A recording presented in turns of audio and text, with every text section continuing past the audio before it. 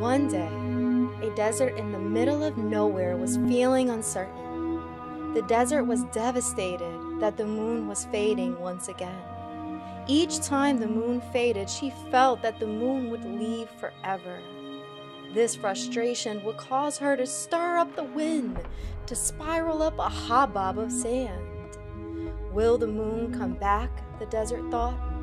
Because of her anxiety, the hubbub of sand intensified. Soon she was so consumed by her worry that she did not notice that her once beautiful horizon was completely gone.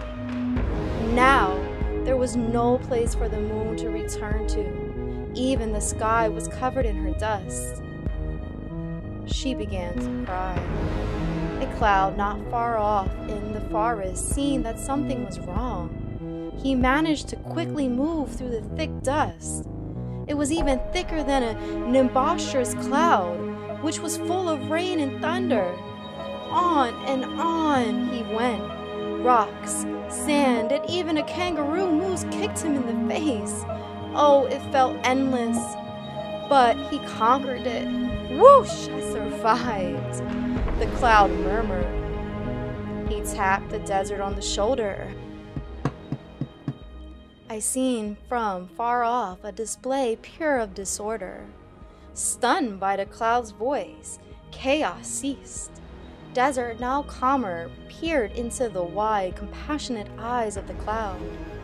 It's not every day that a cloud graces my presence.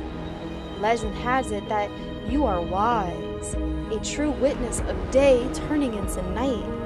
Surely you can tell me if the moon will return whole or will it vanish forever? The cloud pondered for a moment and answered, Dear desert, the moon needs time to become full. It is a process. Everything in life is a process. There are four moons each month full, third quarter, new, and first quarter. And on top of that, there are 12 months in a year. Each cycle has to come in its own time. But I still don't understand why does it fade? Is it painful for the moon?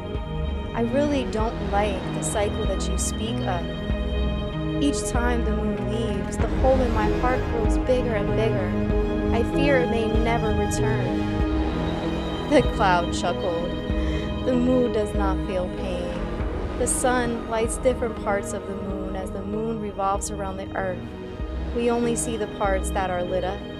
Rest assured, the moon is always full and with you. Even when you do not see it, it is there.